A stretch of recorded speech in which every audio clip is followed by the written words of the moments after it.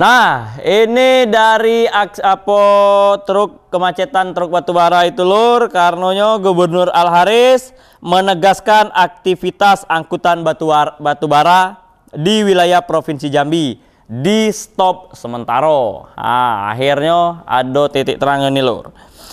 Mulai Hamin 7 Lebaran hingga H plus 7 Lebaran.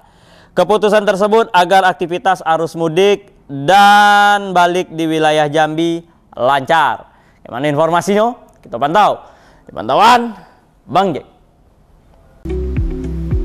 Gubernur Jambi Al Haris menegaskan, memasuki Hamin 7 Lebaran Idul Fitri, jalan umum di wilayah Provinsi Jambi harus bebas hambatan agar arus mudik di Jambi lancar. Sebab itu Al Haris memastikan semua aktivitas angkutan batubara di stop sementara mulai Hamin 7 hingga H 7 Lebaran 2023 Begitu juga dengan angkutan perkebunan seperti sawit maupun karet. Kebijakan tersebut dilakukan untuk memperlancar arus mudik dan balik lebaran 2023 jalur darat yang diprediksi meningkat.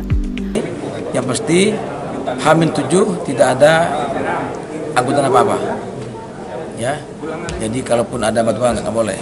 Hamin 7 itu clear semuanya, jalan terclear semuanya. H plus 7 juga sama clear semuanya tidak ada tidak ada angkutan selain dari barang dan orang.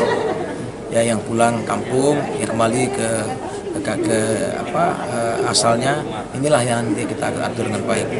Saya berharap warga masyarakat yang tinggal di pinggir jalan ini juga memberikan uh, yang terbaik untuk untuk para uh, pemudik kita.